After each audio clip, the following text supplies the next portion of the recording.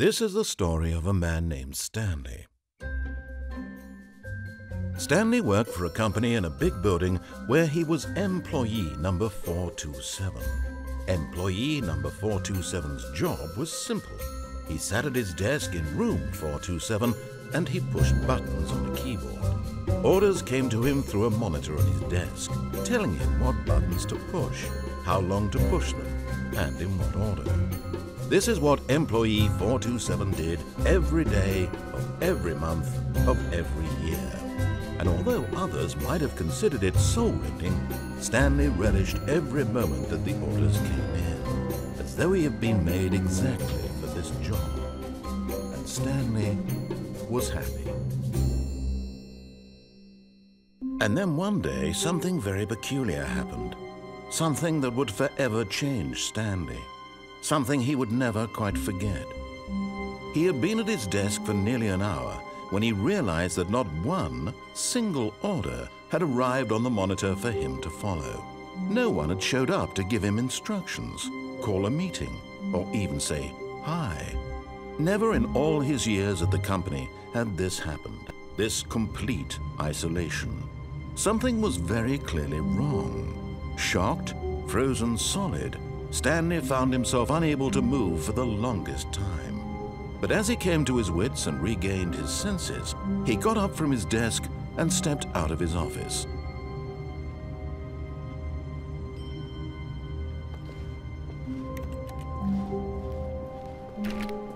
All of his co-workers were gone. What could it mean? Stanley decided to go to the meeting room. Perhaps he had simply missed a memo. No matter how hard Stanley looked, he couldn't find a trace of his co-workers. Stanley went around touching every little thing in the office, but it didn't make a single difference, nor did it advance the story in any way.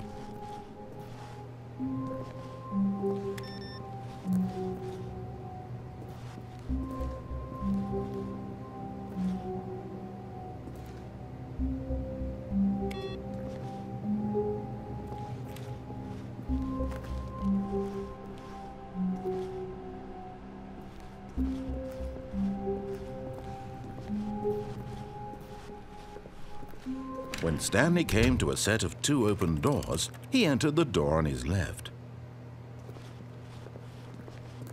This was not the correct way to the meeting room, and Stanley knew it perfectly well. Perhaps he wanted to stop by the employee lounge first, just to admire it. Wow, yes, this room. What a beautiful room. What a gorgeous, gorgeous room. Thank goodness Stanley had taken this detour on his way to the meeting room. Life without having experienced this room was now too horrible even to consider.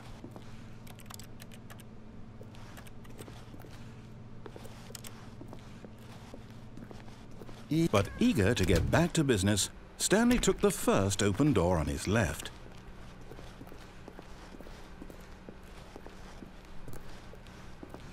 Stanley was so bad at following directions, it's incredible he wasn't fired years ago.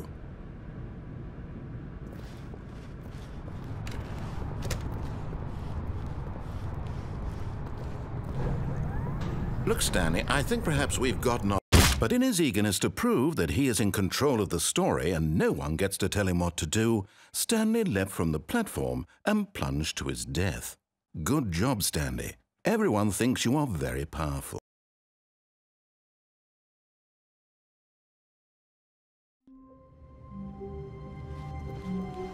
All of his co-workers were gone. What could it mean? Stanley decided to go to the meeting room. Perhaps he had simply missed a memo.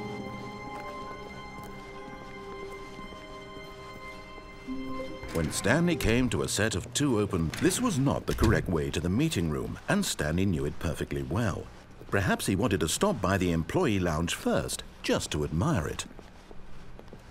The lounge was sublime, a work of art. But eager to get back to business, Stanley took the first open door on his left. Stanley was so bad at following directions, it's incredible he wasn't fired years ago. Look, Stanley, I think perhaps we've gotten off on the wrong foot here. I'm not your enemy, really, I'm not. I realize that investing your trust in someone else can be difficult, but the fact is that the story has been about nothing but you all this time. There's someone you've been neglecting, Stanley. Someone you forgot. What? Really?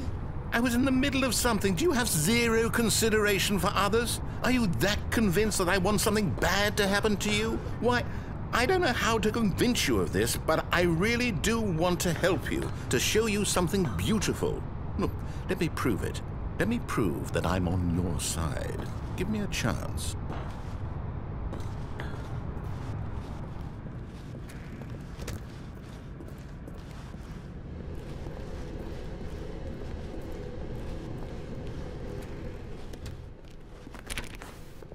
Now listen carefully, this is important. Stanley walked through the red door. Aha, perhaps you misunderstood. Stanley walked through the red door.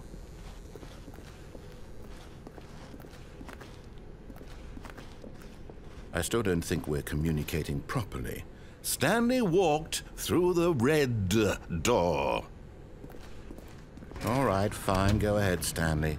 You want to know so badly what's out there? You want to find out what lies at the end of this road you've chosen? Well, don't let me stop you. You see, there's nothing here. I haven't even finished building this section of the map because you were never supposed to be here in the first place. Broken rooms, exposed developer textures. Is this what you had wanted? Was it worth ruining the entire story I had written out specifically for you? Do you not think I put a lot of time into that? Because I did. And in the end, it was all for nothing, because this is what you wanted to see. Help me here, Stanley. Help elucidate these strange and unknowable desires of yours. What would have made this game better? What did you want to see? Vehicles? Skill trees? Work with me. You've given me absolutely nothing so far. Tell you what, let me take a stab in the dark at a new design and you can give me some feedback.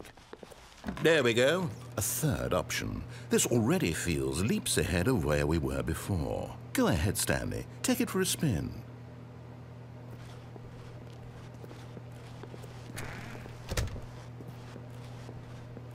Okay, I'm going to stop you there. Now, tell me about your experience with this new version. Would you say that the game benefited from allowing you more choices? Feel free to be honest. I'm looking for some real critical feedback here. A one? I mean, I can understand if you had reservations, you saw ways the game could be improved to more fully express itself mechanically and artistically, but a one? That's not even helpful. What am I supposed to do with that? Uh, but I guess it isn't my place to judge. Here, based on the data from your previous playthrough, I've compiled a new version. And to be perfectly candid, I think I've knocked it out of the park with this one. Let's take a look.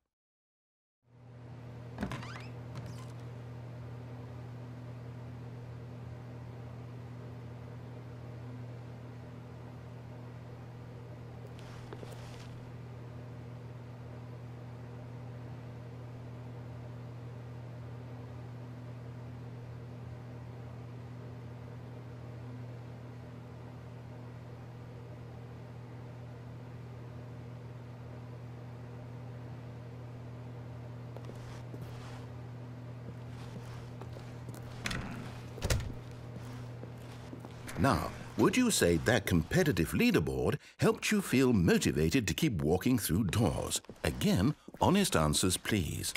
Hey, I nearly forgot. I've got a prototype of a new game I've been working on, and now would be a lovely opportunity to give it some playtesting. You wouldn't mind taking a look at it, would you? Perfect. Let me boot it up. In this game, the baby crawls left towards danger. You click the button to move him back to the right, and if he reaches the fire, you fail. It's a very meaningful game, all about the desperation and tedium of endlessly confronting the demands of family life. I think the art world will really take notice. But of course, the message of the game only becomes clear once you've been playing it for about four hours. So why don't you give it four hours of play to make sure it's effective? Be sure to keep notes on your experience.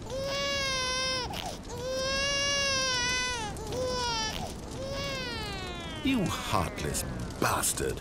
Did you do it because you hate babies or purely to spite me? Because if it's the latter, well, I don't know what to do. I'm completely out of ideas. I can't think of a single thing that might improve the experience for me. I'm not even going to try. I'm out, I'm out, I'm done. It's over. Thank you for playing. Your input was extremely valuable. Oh, hey, since my game was so awful, why don't we play someone else's game, just to ease the pain? Let's see. What do we have here? Mm-hmm. Mm-hmm. yes, this seems like it'll work. Let's give it a shot.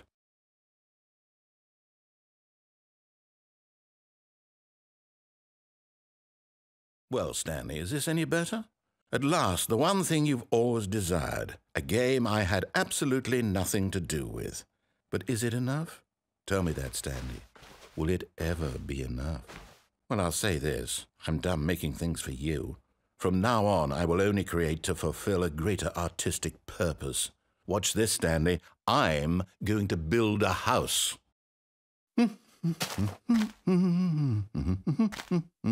This will go here, no, here, and then.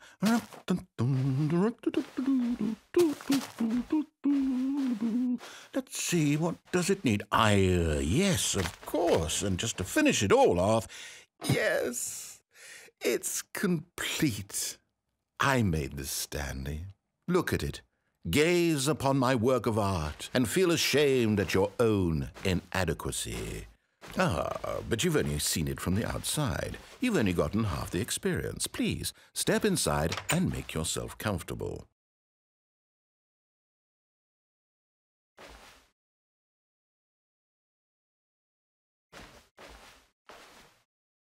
Isn't it grand? Isn't it perfect? It could only be better if... Wait, that's it. We must rebuild it out of diamond.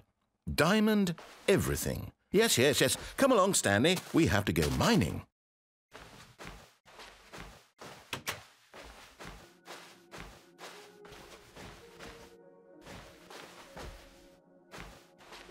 Oh my, it looks like it's going to get a bit dark. Have you brought a light?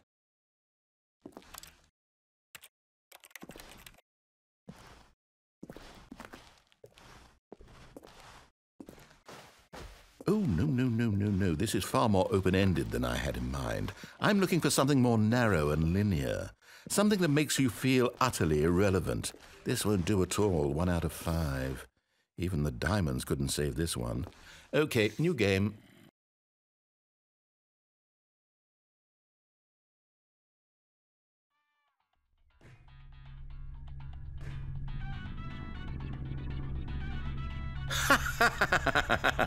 yes, I don't even know what this game is, but I love it. You, trapped in a glass box with no way out, listening to me talk. Oh, it's inspired. I couldn't have done it any better myself. What is this game even supposed to be? I can't figure it out. Okay, now I'm curious. Let's go find out what the hell this is.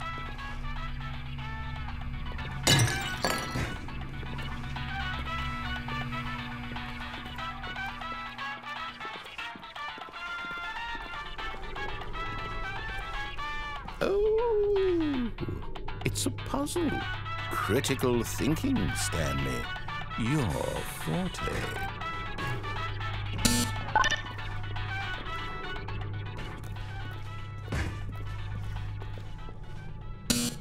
Genius. No, actually, you know what? I think that's plenty. I really don't care much to see you stumble through any more of these games.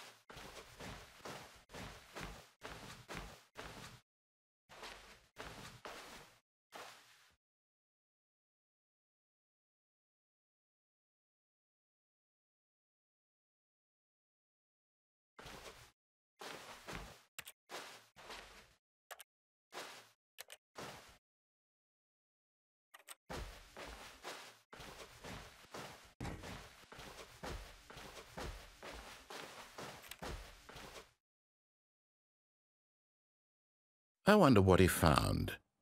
If what he wanted was to be the leading man in his own story, well, perhaps he's gotten it, down in wherever he is right now. I wonder if he's happy with his choice, and if he's learned the heavy cost that comes with it. He'll understand soon what I was trying to tell him. He needs me. Someone who will wrap everything up at the end to make sense out of the chaos and the fear and the confusion. That's who I am. That is what I mean to this world. Oh, yes. Yes, I'll be back. There's no other way. Once this ends, after it all comes to a close, then I'll be back. The end will be here soon. Very soon. I can wait.